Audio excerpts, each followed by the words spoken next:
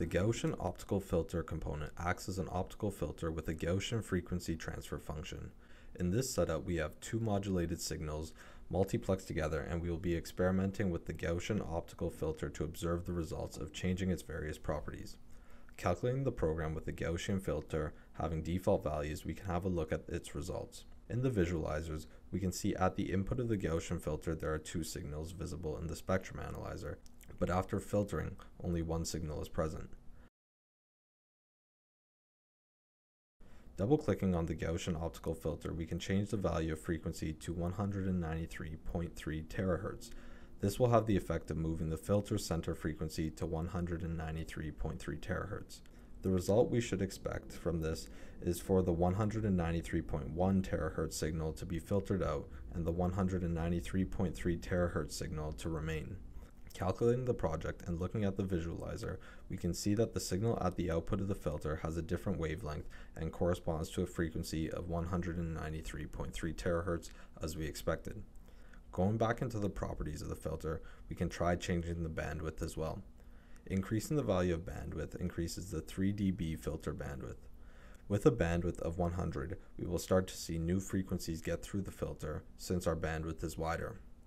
Calculating the project and clicking the visualizer, we see that the 193.3 terahertz signal has a wider bandwidth because the parts farther from the center are no longer filtered out. The 193.1 terahertz signal is also appearing in the spectrum analyzer, but still being reduced by the filter since it is outside of the 3 dB bandwidth. Changing the bandwidth to an even larger value and then calculating the project gives us a filter output with neither signal filtered out because both signals are within the filter's bandwidth. Attaching an optical power meter to the output of the filter and then going back into the properties, we can also have a look at the effects of changing the value of insertion loss. Increasing insertion loss increases the loss applied to the signal as it enters the filter. Calculating the project with an insertion loss of 5 dB, we can see a slight decrease in the optical power at the output of the filter. If we change the insertion loss to an even larger value, we can see a more significant loss in the optical power meter. Resetting some of the values, we will now have a look at varying the depth of the filter. Changing the depth of the filter changes the maximum attenuation value for the filter. Increasing the depth of the filter means that frequencies outside of the filter bandwidth get attenuated more. Calculating the project, we can see that this was indeed the case. Reducing the depth causes frequencies outside of the filter bandwidth to be attenuated less. Calculating the project, we can see that the frequency at 193.1 terahertz was attenuated very little as we expected. Resetting the value of depth, we will now have a look at the effect of changing the order of the Gaussian filter.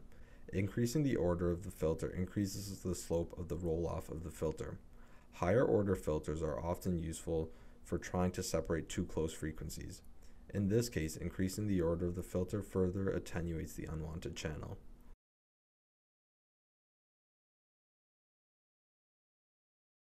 Going into the simulation window of the filter and checking the resample box will cause the filter to downsample the signal bandwidth to the filter sample rate.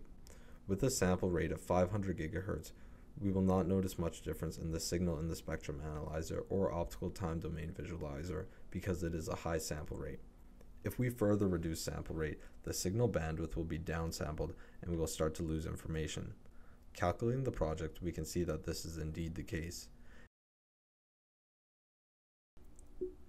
Further decreasing the sample rate causes us to lose even more information.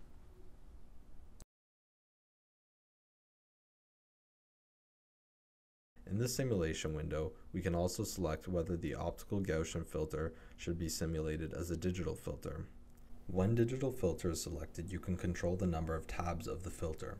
The larger the number of taps, the more complex the filter is. However, it can more accurately represent certain characteristics of the filter.